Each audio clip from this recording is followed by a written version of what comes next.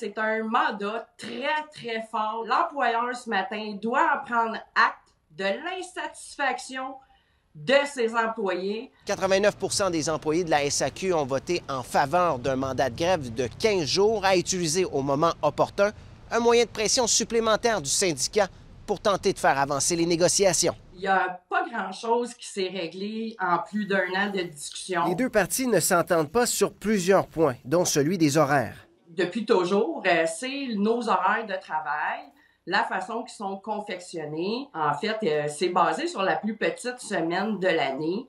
Et ensuite, on cherche à aller un peu plus bas. La précarisation des collègues chez nous, je rappelle que plus de 70% de nos collègues sont à temps partiel pour plus d'une dizaine d'années. La SAQ a réagi quelques minutes après l'obtention du mandat de grève par voie de communiqué en mentionnant vouloir continuer de négocier et qu'elle avait le même objectif que les employés, soit d'avoir le meilleur contrat de travail possible pour tous. La dernière fois que les employés de la SAC ont déclenché une grève, c'était en 2021, alors que 800 travailleurs avaient manifesté pour dénoncer leur salaire et les heures supplémentaires.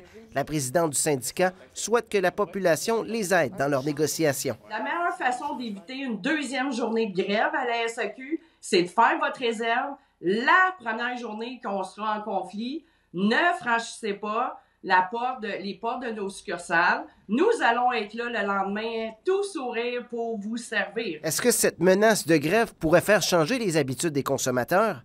Pas tellement. Moi, je, bois ma bière, mon vin au, chez le dépanneur. Donc, vous achetez à l'épicerie au dépanneur, vous n'allez pas nécessairement dans les SAQ? Non, non.